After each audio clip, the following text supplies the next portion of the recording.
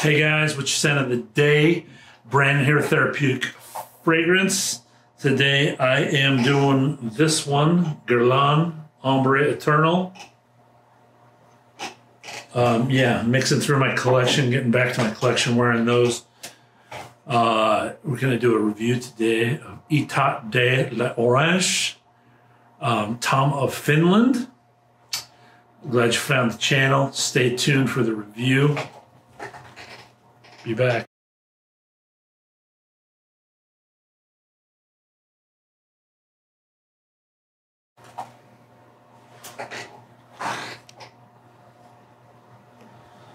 Hey guys, Brandon back.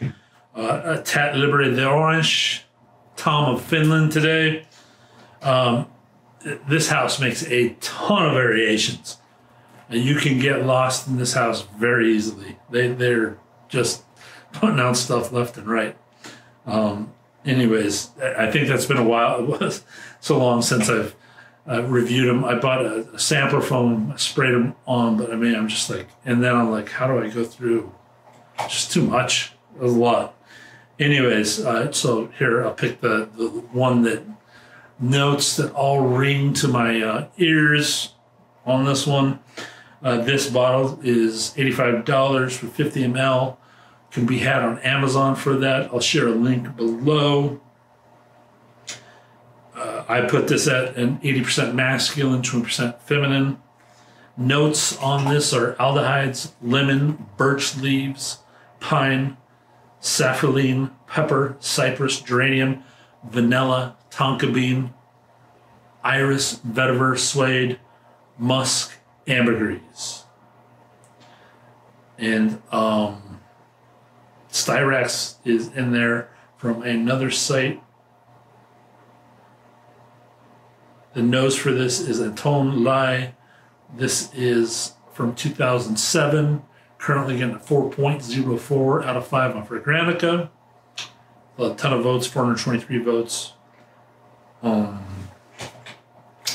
notes pretty similar to uh, a Beaufort review that I've done. I might share it there. A big rant a couple days ago about originality. And I'm not going to do the same thing here with the, the, the Mugler review.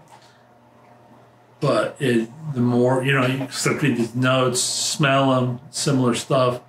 If you're going to do a take on something that's very similar you perfumers calling you out a bit credit credit the take you're doing. Just say i'm doing a twist of this perfume on this at least they get credit for being originators should always get credit no matter what in, in my opinion og is og is og like it'll come out.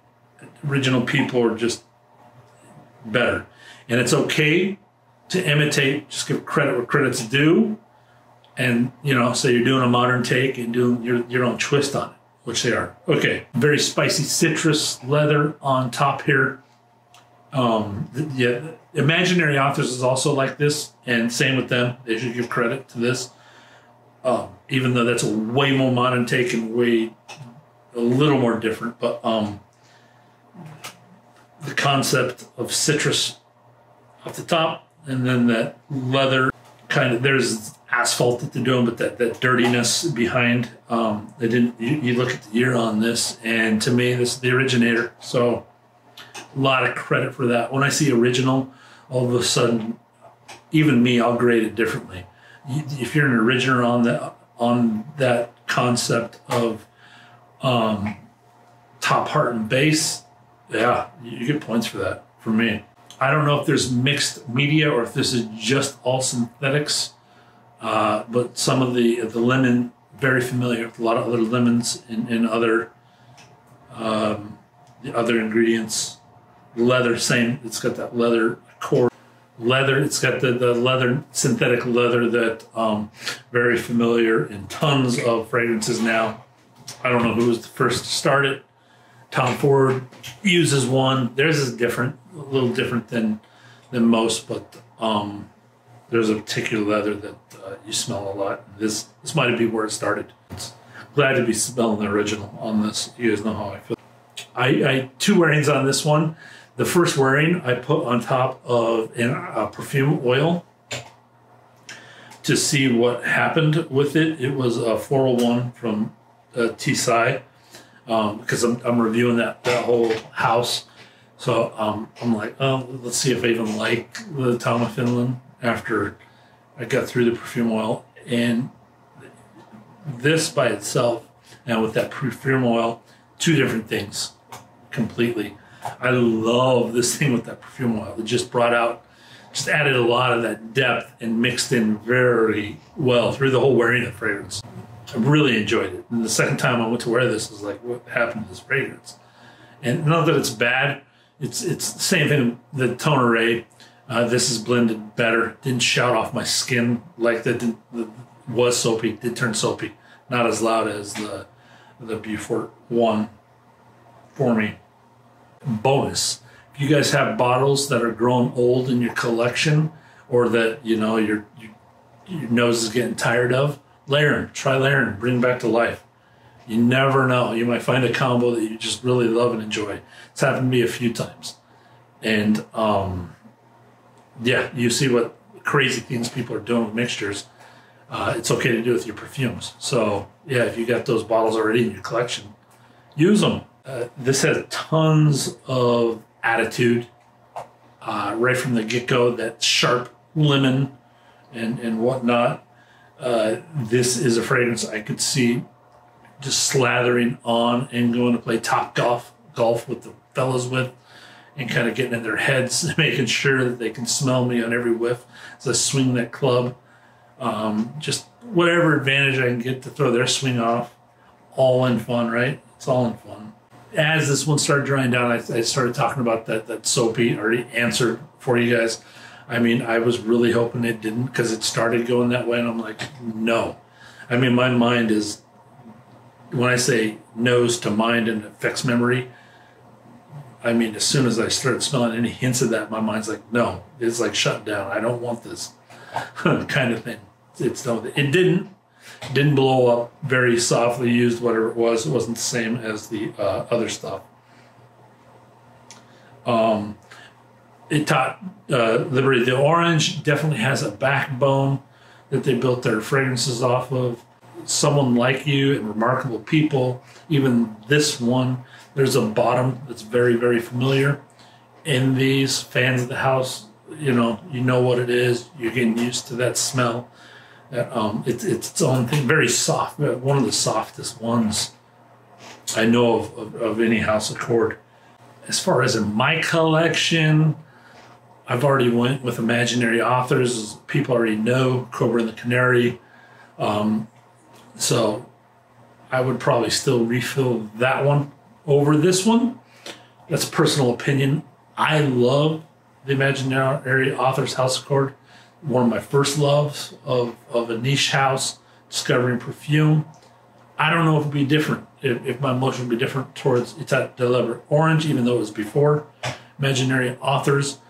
But in this case, I favor them, even though the fragrance was after. I just I like their House Accord with the notes they're using on top of their blend. Um, this is still I, I, see a lot of people going this way because there's I mean that's that's an off-putting fragrance too. Modern takes, I agree with all of them. Just give credit what credit's due. Uh, fragrance, in my opinion, uh, compared to perfumer's notes, the shouting of the fragrance off my skin, it didn't shout as loud as Beaufort's, but it, it all of a sudden when it, it turns that way, it just hides those bass notes for me. So the bass notes didn't come through for me. Um, again, uh, whatever's used just overshadows that for me. Happens all the time. Um, maybe it's patchouli, synthetic patchouli, and Broxton's. My guess at this point is, is what it is that, that, that overtakes that. Um, I would have loved to smell the gray ambergris that they listed in there. My scoring of this one, addictiveness and no G factor, 13 out of 15. High for the originality, since I know so far, I don't know of anything that was before it. Uh, projection sillage, 5 out of 5. Longevity, 5 out of 5. Composition, 17 out of 25. Ingredients to price to ml, 15 out of 25. The top of this one was my favorite part, 9 out of 10. Heart, 3 out of 5. Base, 5 out of 10. Total square 72. Uh, get a sample, guys. I see this. Uh, anybody that wants this lemon leather, it, it's a good take. Obviously, it's been copied. Now I know of three houses. I'm sure there's more, and I've sampled all three. It's it's a creative take. This is a night out with the guys at the bar. Uh, just it's a nice hangout with with with your friends fragrance. Even even your ladies, just hanging out with friends. Pleasing off you. I like the leather lemon smell kind of thing. I can see it being very loud in warmer weather, so cooler weather on this one. I usually don't say that. Who do I see wearing this? The Fonz, uh, Fonzie.